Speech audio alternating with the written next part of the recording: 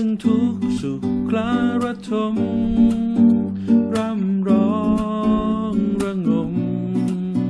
โอดครวญหวนพรำร่ำให้ความโศกโศกาอะไรน้ำทิพย์คิดมาเพื่อโลกอย่างไร มันเริ่มตั้งแต่การผลิตของเรา ขวดน้ำดื่มทั่วไปใช้พลาสติกในการผลิตเท่านี้ แต่เราเลือกที่จะลงทุนกับเทคโนโลยีใหม่ล่าสุด เพื่อให้ขวดของเราใช้พลาสติกน้อยลง 35%ขวดที่ได้จึงบางกว่า เมื่อน้ำที่ผ่านการ reverse osmosis แสงอุลตราไวโอเลตและโอโซนตามมาตรฐานโคคาโคล่าถูกบรรจุลงขวดใหม่ของเราแล้ว ก่อนจะปิดฝา เราก็เลือกใช้น้ำโอโซนทำให้ฝาสะอาด และไม่ใช้ฟิล์มพลาสติกที่รีไซเคิลไม่ได้ ช่วยลดพลังงานในการผลิตได้อีกทาง ยังไม่พอ เมื่อคุณได้เลือกสดชื่น แล้วบิด จากเดิมที่เราต้องใช้รถในการขนส่งขยะมากมาย ด้วยบิดของคุณ พื้นที่ขยะลดลง รถที่ใช้ขนส่งไปโรงงานรีไซเคิลก็น้อยลงไปอีกด้วย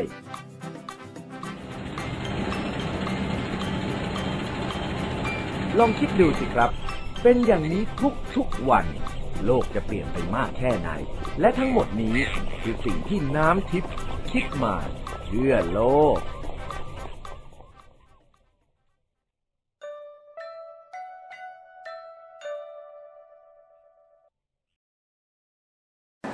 เคครับไม่เคยไม่เคยดื่มน้ำที่ห้อเลยครับมีไหมไม่เคยมีไหมโอเคนะดีแล้วที่ที่ไม่เคยดื่มดีแล้วเดี๋ยวจะได้มีประสบการณ์ได้ดื่มระบังต้องมีใครไหมครับให้น้อง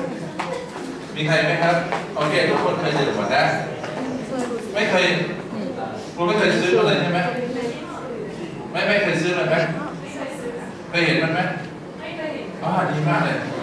ดีมากเลยโอเค ดีแล้วครับเอ่าล่ะเรามีน้ำขวดอื่นไหมที่แบบเต็มขวดเวลาครูเห็นเนี่ยสิ่งที่ครูเห็นเนี่ยครูสงสัยเลยเป็นอันดับแรก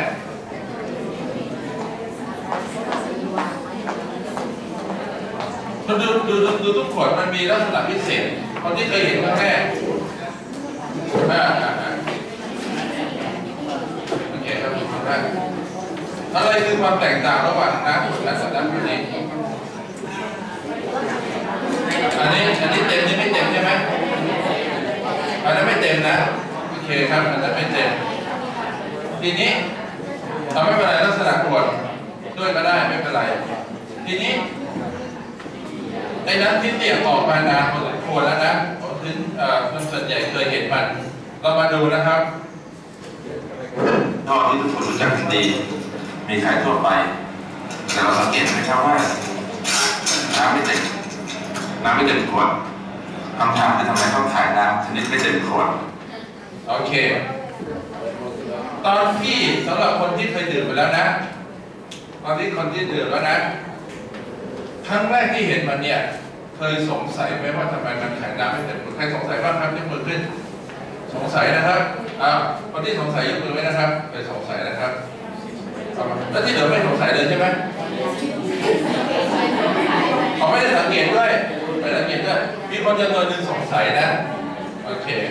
ดีครับ คนสงสัยที่ เดี๋ยวผมจะถามต่อนะครับ แต่ตอนนี้ผมจะถามทุกคนก่อนเมื่อตะกี้เนี่ยที่เขาบอกว่านักคิดคิดมาเพื่อโลกเขาต้องการจะบอกอะไรเรา บอกว่า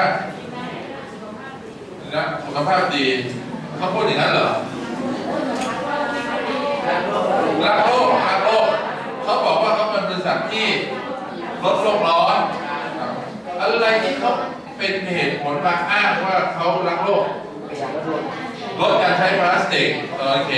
ลดการใช้พลาสติก โดยการทำเทคโนโลยีใหม่ แล้วก็ใส่น้ำไม่เต็มขวดแต่เขาไม่ได้บอกว่าใส่น้ำไม่เต็มขวดโอเคเขาต้องการอธิบายว่าเขาเป็นผลิตภัณฑ์ที่ลดโลกร้อน เรารู้สึกยังไงถ้าเกิดเราไปเจอผลิตภัณฑ์ที่บอกว่าอันนี้มันช่วยลดโลกร้อนมันช่วยลดการใช้ทรัพยากรเรารู้สึกดีหรือไม่ดีกับมันก็ดีนะดีที่อยากจะซื้ออยากจะใช้ถามหน่อยเวลาเราไปซื้อของเนี่ยนะ เราใช้ตาดูหูฟังจมูกดมหรือว่าใช้ลิ้นชิมมันหรือใช้มือสัมผัสครั้งแรกสุดที่เราไปซื้อของอันแรกตานะอ่าเพราะว่ามือไปสัมผัสเนื่องเข้าไปถึงก่อนมันใช่ไหม ตามันเรียกร้องความสนใจขวดสวย ใส ขาว ฉลาด น่ารักเราไม่เข้าไปขอเบอร์ได้เหรอไม่ไม่โอเค เราเราใช้ตาเป็นตัวดูก่อนข้อมูลที่หนึ่งเข้ามาที่ตา ถ้าหากว่าเราเห็นน้ำไม่เต็มขวดเราเกิดข้อสงสัยอะไรบางอย่างแน่ๆเลยเพราะนี่คือประสบการณ์ใหม่เราไม่เคยเห็นค่าที่ห้อไหนที่มันวางขายโดยน้ำไม่เต็มขวด เราสงสัยอะไรบ้าง ยังไม่จับนะ ยังไม่จับ เราสงสัยอะไรบ้างทำไมน้ำไม่เต็มขวดเพราะเราแค่สงสัยทำน้ำไม่เต็มขวดเราพอที่จะเดาสาเหตุได้ไหมว่าทำไมน้ำไม่เต็มขวดตอนแรกครั้งแรกไม่ไม่ยังยังยังยังไม่รู้แต่ตอนตอนตอนนี้สงสัยแล้วนะ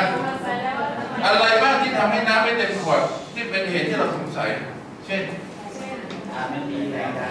ยังยังยังยังยังไม่รู้เรื่องแรงดันยังไม่รู้ที่ตอนแรกเราเห็นเราเห็นของไม่เต็มขวดเนี่ยเราสงสัยอะไรเขาประหยัดหนึ่งเขาประหยัดสองเขาเอาเปรียบเรา มีอะไรบ้างที่ทำให้น้ำไม่เต็มขวดมีคนอยากกินแล้วขวดมันรั่วโอเคถามต่อยังไม่อัดแก๊สครับ ครั้งนี้เป็นครั้งประสบการณ์เราต้องได้ประสบการณ์ที่ด่านครูครับ โอเคนะการที่ใส่น้ำไม่เต็มครับสงสัยว่าทำไมต้องอยู่บริษัทโคคาโคล่าครับ เดี๋ยวไปเจอเลยครับนะครับโคคาร่าไม่เหมือนกับว่าอาจารย์สงสัยว่าทำไมเขาไม่ฉลาดใช่ไหมโอเค ตอนที่เรามีความรู้สึกว่ามีคนดื่มกันแล้ว เอาเปรียบเรา ใส่น้ำแค่นี้ก็ไม่เต็มขวด เรามีความรู้สึกดีกับมันหรือไม่ดีกับมันอ่าเมื่อกี้เราดีกับมันเรื่องนักโลกนะเราดีกับมันเรื่องนักโลกครั้งนี้พอเราเห็นด้วยตาเฮ้ยมันเอาเปรียบเฮ้ยรั่วแล้วเฮ้ยใครกินมันหรือเปล่าไม่ดีนะเวลาเราซื้อของครับเวลาเราซื้อของเราบอกเมื่อกี้เราตกลงแล้วใช่ไหมเราเห็นด้วยตาใช่ไหมต่อจากนั้นพอเราชอบปั๊บเราก็ไปจับตอนที่ครูจับมันครั้งแรก ทุกคนนะครับ ยังไม่เปิดนะ รู้สึกยังไงกับมันแข็งตึ้งแข็งแข็งแล้วดีไหมเราชอบขวดน้ำที่แข็งใช่ไหมมันมีอยู่ขวดหนึ่งนิ่มขวดเนี้ยขวดเนี้ยขวดนี้นิ่ม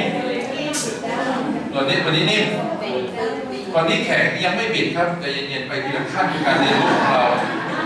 อันนี้เราเนี่ยมันมีขวดแข็งกับขวดนิ่มเนี่ยถ้าเกิดจากสองขวดเนี่ยเรารู้สึกว่าขวดไหนดีจังเลยเราอยากจะซื้อไป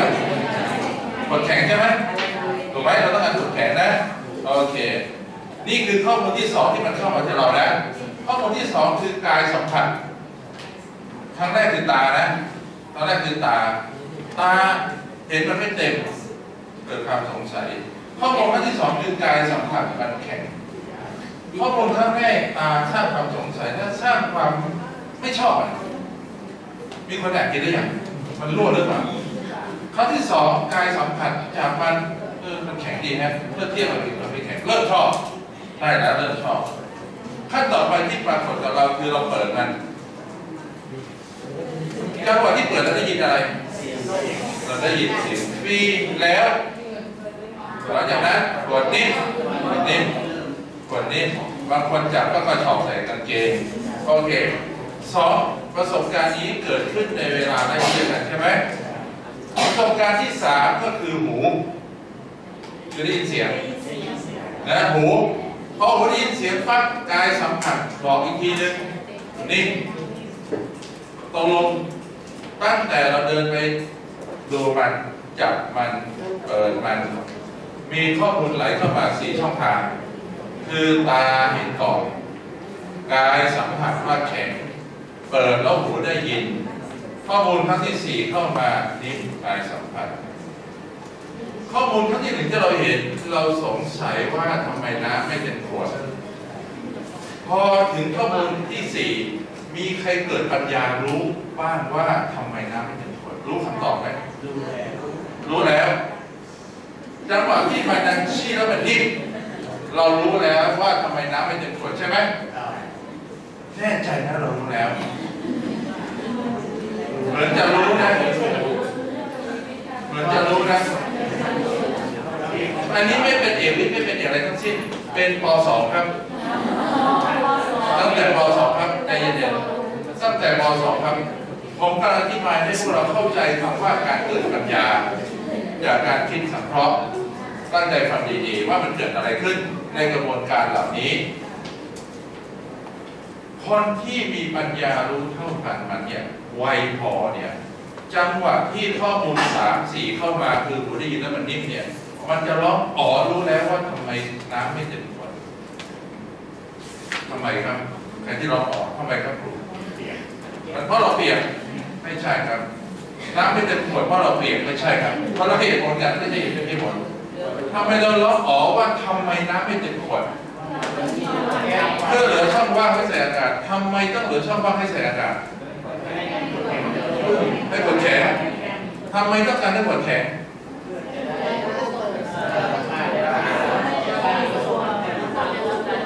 ให้กดแข็งเพื่อเปิดออกมาได้ผลนิ่มไม่ใช่ทำไมต้องการให้กดแข็ง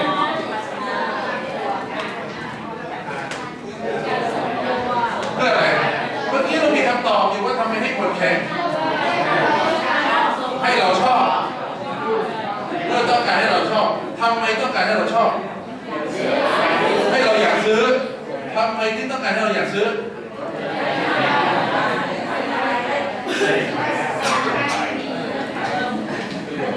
ใครได้ประโยชน์จากการซื้อของเรา บริษัทอยากให้เราซื้อ บริษัทได้กำไรโอเค เขาทำของขายมาเพื่อให้ได้กำไรเพื่อให้ได้ขายของได้เพื่อให้ได้ของขายได้ให้ให้ขายของได้ แต่ตัวเราเมื่อประสบข้อมูลเข้ามาจังหวะที่ลมออกมาแล้วมันแฟบมันนิ่มคำถามที่ค้างอยู่ในใจตั้งแต่ข้อมูลที่หนึ่งว่าทำไมน้ำไม่เต็มขวดมันจะตอบได้ทันที ว่าเพราะอากาศต้องการที่อยู่ มันไม่เต็มขวดเพราะต้องการอัดอากาศที่ต้องการอัดอากาศเพื่อให้คนแข็งที่ต้องการให้คนแข็งเพราะให้คนชอบ ที่ต้องการให้คนชอบเพราะต้องการขายของที่ต้องการขายของเพราะมันอยากได้กำไรใช่ป่ะจะเห็นว่านี่คือกระบวนการอธิบายเหตุและผลที่มันต่อเนื่องกันแป๊บเดียวเอง นั่นก็หมายความว่าสี่สี่ข้อมูลแรกที่มันเข้ามา มีอะไรบ้างมีตา กาย หู และตาสี่ข้อมูลแรกเป็นข้อมูลที่เข้ามาคนละช่องคนละเวลากัน นั่นคือข้อมูลที่ถูกแยกแยะ หรือข้อมูลที่เรียกว่าถูกวิเคราะห์แยกแยะเป็นหมู่เป็นก้อนเข้ามา การที่เรารู้ว่าทำไมน้ำไม่เต็มขวด นั่นก็คือการสรุปข้อมูลวิเคราะห์ทั้งหมดเกิดการสังเคราะห์ขึ้นมาใหม่ เกิดการขุดความรู้ขึ้นมาใหม่ด้วยตัวเราเอง โดยต้องไม่มีไม่มีใครบอกมันขุดเป็นความรู้ขึ้นมาใหม่ด้วยตัวเราเองว่าอ๋อที่มันไม่เต็มขวดเนี่ยเป็นเพราะอย่างนี้นี่เองโอเคนะครับข้างหน้าบอกภาษาอังกฤษเราไม่รู้เรื่องแต่ผมกำลังจะบอกนี่คือป .2 ครับป .2 ครับ เพราะเราแยกความรู้เราอยู่กระจัดกระจาย เราไม่ดึงความรู้เรามาอธิบายป .2 ครับ เรื่องนี้เป็นเรื่องป .2 อย่ามาบอกว่าเราเป็นครูภาษาไทยเราเป็นครูภาษาอังกฤษเราไม่รู้เรื่อง เพราะเราไม่รู้จักการหลอมรวมประสบการณ์ ความรู้เดิมปัญญาเดิมเพื่อสร้างปัญญาใหม่ วิจัยคือการมีประสบการณ์ แล้วเอาปัญญาเดิมมาอธิบายปัญญาใหม่ ปัญญาเดิมของเรามีตั้งแต่ป .2 ครับ ผมจะอธิบายให้ฟัง ปัญญาเริ่มจากสงสัยเพื่อหาเหตุ โดยใช้หลักว่าผลเกิดจากเหตุอย่างเช่นปัญญาที่มันเกิดขึ้นทันทีทันใดที่หายสงสัยว่าทำไมน้ำไม่เป็นผลทำบุญเกิดขึ้น ข้อมูลที่เข้ามาเมื่อกี้อธิบายหนึ่งน้ำไม่เป็นขวดตาเห็นสองมือสัมผัสขวดแข็งสามหูได้ยินสี่ขวดนิ่มสิ่งเหล่านี้เป็นประสบการณ์เดิมปัญญาเดิมของเราอันเนื่องมาจากป .2 เราเป่าลูกโป่ง เพราะเราเป่าลูกโป่งเรารู้ว่าอ๋อถ้าเกิดเราใส่ลมผ่านไปแรงแรงๆเป่าจนแก้มของขวดแก้มเนี่ยลูกโป่งมันก็จะแข็งความรู้นี้อธิบายว่าของที่มันนิ่มๆถ้าเกิดมีความดันอยู่ข้างใน มันก็จะพองแข็งนี่คือป .2 พอป .4 เรามีประสบการณ์เกี่ยวกับทำการฝีมือ เรามีกระดาษแก้วมาทำแล้วเรามันก๊อปแก้มนิ่มอ๋อเราก็บอกว่าของที่มันบางมันก็จะไม่ทรงตัวมันก็จะนิ่ม นี่ประสบการณ์ป .4 พอป .5 เราทำของที่มันซับซ้อนขึ้น เรากระดาษแข็งมาทำการฝีมือมาทำกล่องเราประสบการณ์ป .4 มาร่วมอธิบายกับป .5 ว่าอ๋อของเมื่อมันนิ่มแล้วเนี่ยอันเดียวกันเนี่ยกระดาษเนี่ยแต่ส่วนความหนามันเพิ่มขึ้นเนี่ยมันจะแข็งทั้งหมดเหล่านี้ก็คือประสบการณ์ที่อธิบายว่าขวดบางขวดแข็งขวดนิ่มเพราะมีอากาศ ไปสู้กับความนิ่มความบางของมันมันจึงพองโป่งเหมือนกับลูกโป่งพอเราขึ้นป .6 เราสูบลมจักรยานเพราะจักรยานนวดแล้วมันดันฟีดพอมันฟีดแล้วมันแรงมันนิ่มประสบการณ์ป .6 เราก็บอกว่าอ๋อเราอัดลมเข้าไปแล้วถ้าเกิดลมมันรั่วไปมันฟีดพอฟีดแล้วมันแบนแล้วมันนิ่มประสบการณ์ล่าสุดของเราคือเราไปซื้อขวดน้ำมา น้ำมันเต็มขวด จากน้ำเต็มขวดมาสู่ประสบการณ์ใหม่คือน้ำไม่เต็มขวดเราเกิดข้อสงสัยขึ้น ข้อสงสัยนั้นเมื่อมีข้อมูลไหลเข้ามาสี่ข้อมูล ข้อมูลเหล่านี้ผนวกกับประสบการณ์เดิมที่เรามีอยู่ตั้งแต่ป .2 ไล่มาเรื่อยๆถ้าเผื่อเรารู้จักผนวกรวมปัญญาเดิมหรือความรู้เดิมของเราในอดีต เข้ากับประสบการณ์ใหม่ เราจะเกิดการสังเคราะห์ความรู้ด้วยตัวเราเอง อ๋อ ฉันรู้แล้วว่าทำไมน้ำไม่เป็นผลแต่คำว่าฉันรู้แล้วว่าทำไมน้ำไม่เป็นผลมันต้องสืบสาวไปเรื่อยๆว่าทำไมไม่เป็นผลทำไมทำไมใครต้องการไม่เป็นผลเขาต้องการไม่เป็นผลเพราะเขาต้องการขาย ดังนั้นเนี่ยปัญญามันเกิดขึ้นในวินาทีที่เราได้ยินเสียงหลมและผลนี่เพราะอะไร เพราะเรามีประสบการณ์เดิมพวกนี้อยู่ ในจังหวะนั้นเมื่อผนวกกับขวดแข็ง เปิดขวด ขวดนิ่มตรงเดียววินาทีนั้นอ๋อฉันรู้แล้วว่าทำไมน้ำไม่ถึงขวดเด็กจะต้องมีความสามารถในการหลอรวมประสบการณ์เดิมของตัวเอง ปัญญานี่คือโครงสร้างปัญญาเดิมโครงสร้างปัญญาเดิมรู้ว่าอากาศต้องการที่อยู่เป่าใส่ความดันพองตึงร่วมเมื่อไหร่มันจะนิ่มของแข็งของหนา ของบางของหนา มันนิ่มมันแข็งไม่เท่ากัน ทั้งหมดนี้มันรวบรวมกับขวด ในจังหวะที่อากาศไหลออกแล้วขวดนิ่ม จังหวะนั้นจะต้องผุดบังเกิดขึ้นมาฉันรู้แล้วว่าทำไมน้ำไม่เต็มขวดจังหวะนี้คือจังหวะที่โครงสร้างปัญญาอันใหม่สร้างขึ้นมาซ้อนพักบนโครงสร้างปัญญาเดิมที่มาตั้งแต่ป .2 ถึงป .6 นี่คือคำอธิบายว่าความคิดสังเคราะห์มันเกิดขึ้นได้ ก็ต่อเมื่อ ถูกกระตุ้นด้วยประสบการณ์ แล้วไกด์ให้เด็ก เอาปัญญาเดิมมาร่วมอธิบาย และนี่คือการสร้างปัญญาจากประสบการณ์ที่เราเรียกว่าเป็นวิจัย ดังนั้นการออกว่าทำไมน้ำไม่เต็มขวดเนี่ยคือการสังเคราะห์ประสบการณ์ใหม่ โดยโดยหลอมรวมกับปัญญาเดิม ที่รู้อยู่ว่าอากาศต้องการที่อยู่ ของบางจะไม่แข็งแรง และขวดตึงเพราะความดัน หลอมรวมเข้ามาแล้วออกดังนั้นการทำโครงการทำวิจัยคือให้ทุนไปออกแบบให้เด็กทำให้มีประสบการณ์ แต่ไม่ถึงแค่นั้นหน้าที่ของครูก็คือให้เด็กขอให้ได้ แต่เด็กจะออกได้ ครูต้องจัดกระบวนการ กระบวนการอ๋อใช่ กระบวนการอ๋อคือไม่ใช่กระบวนการสอนโดยบอกแต่คือกระบวนการถามให้คิดนึกออกไหมเมื่อกี้ผมถามให้คิดผมถามให้คิดเพราะฉะนั้นครูจะไม่ใช่ผู้บอก แต่ครูเปลี่ยนเป็นผู้ถาม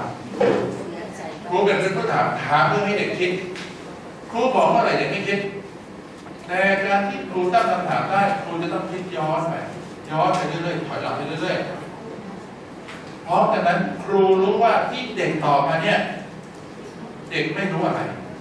เด็กรู้อะไรแล้ว เด็กเข้าใจอะไรผิดอยู่ แต่ครูไม่บอกว่าเธอไม่รู้อะไร เธอรู้อะไรแล้ว แล้วเธอเข้าใจผิดครูไม่บอกแต่ครูถามต่อเมื่อที่ผมกี้ถามต่อไปเรื่อยๆถามต่อจนกระทั่งรู้เอง หน้าที่ของครูไม่ใช่สอน อีกต่อไปแล้วในยุคสมัยใหม่หน้าที่ของครูคือตั้งคำถามเด็ก ให้เด็กคิดได้เลยนั่นแหละจึงทำให้กระบวนการคิดของเด็กเกิดได้ ไม่เช่นนั้น เรารีบบอกความรู้ เด็กไม่ได้คิด นี่คือทักษะของครูนะในการทำข้อมูลปริญญาครูต้องทำเป็นผู้